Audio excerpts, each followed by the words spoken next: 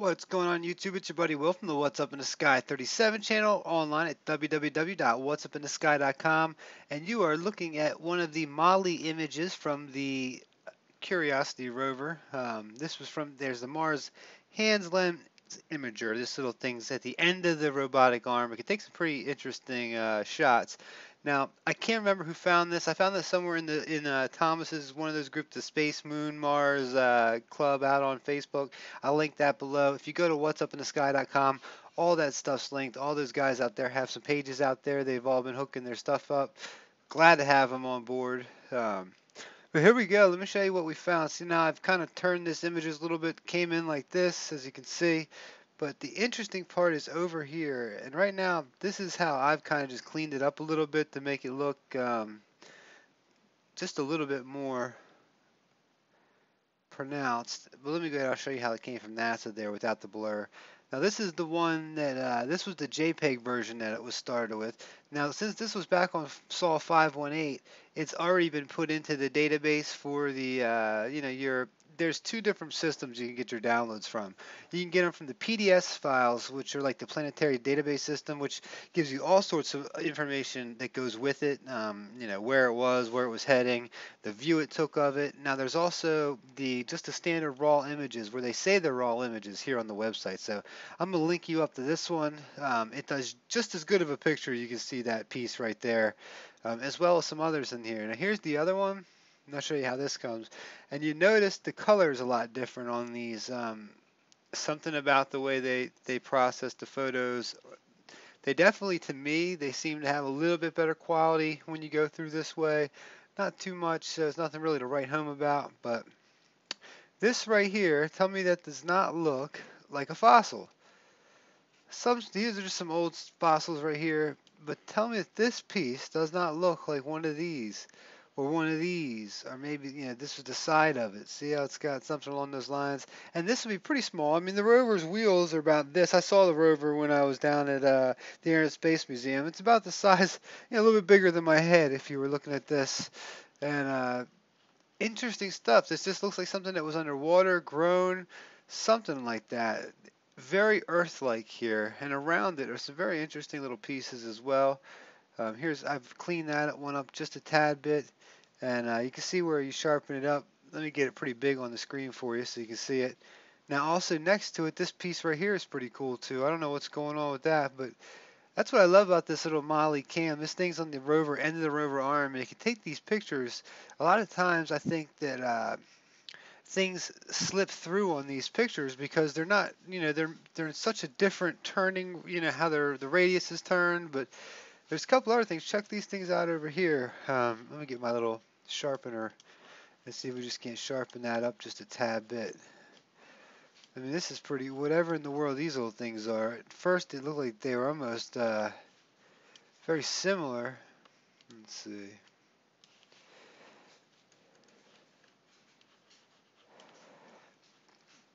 Just kind of two little pieces next to each other there.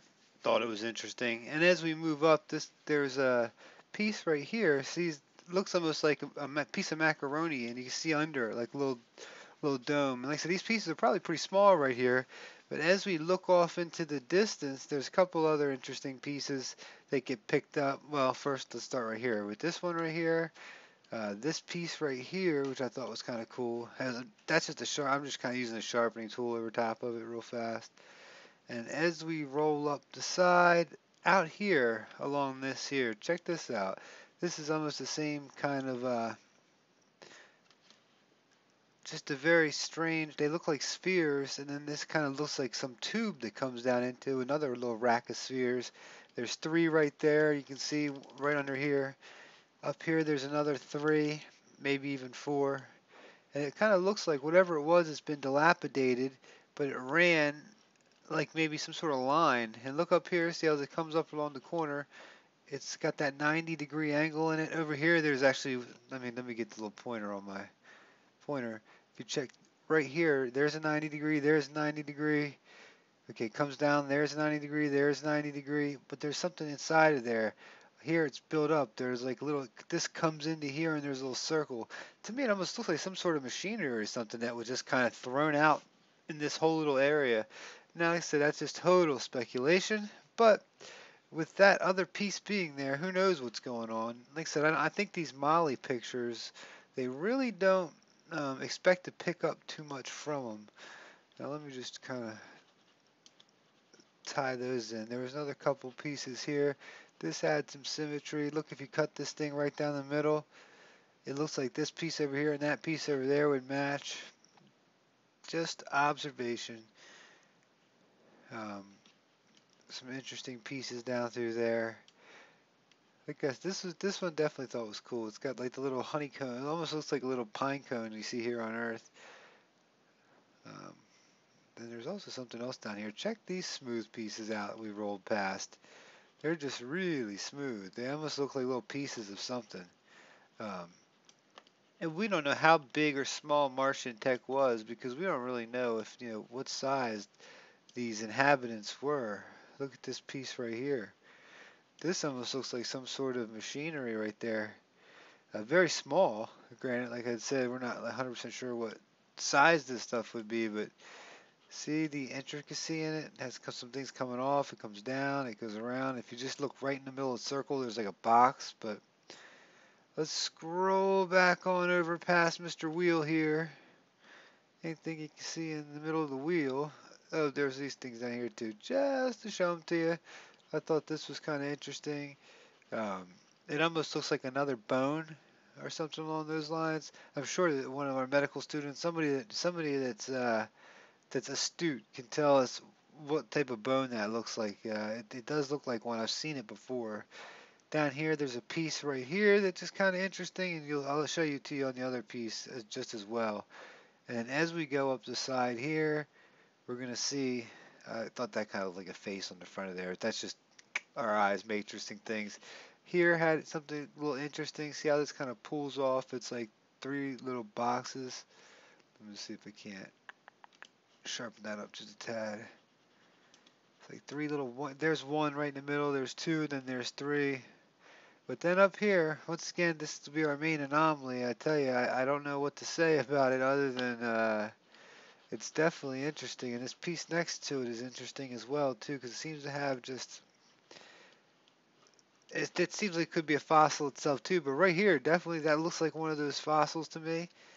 Um, ah, definitely does. What do you guys think? Comment below. Let me know. Here's Here it is on the... Uh, Alright, hold on.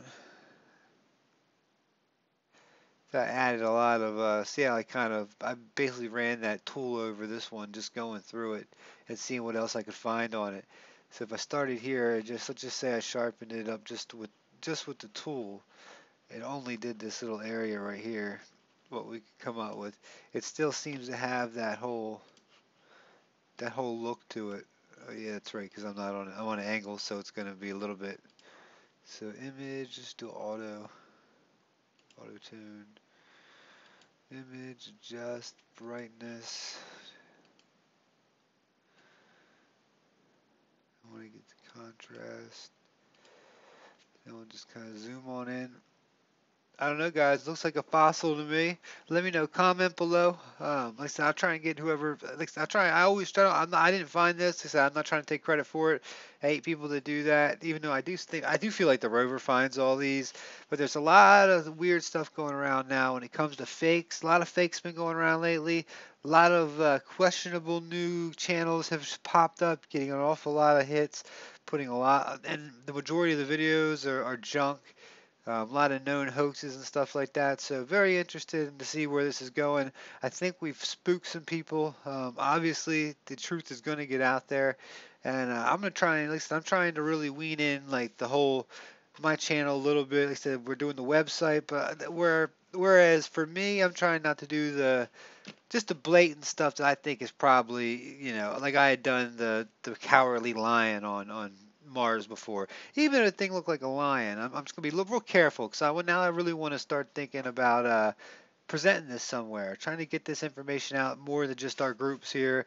I mean, we granted the channel's got 5.5 million views on it, but I, that's just not enough. You know, we we really. Um, like I said, I feel like I try and tell the truth, and I know a lot of the people that I associate with are trying to do the same thing as well. So I want to make sure we have a nice place to talk. That's why the website, if you haven't come and joined the website yet, whatsupinthesky.com, come join the forums, join the fun.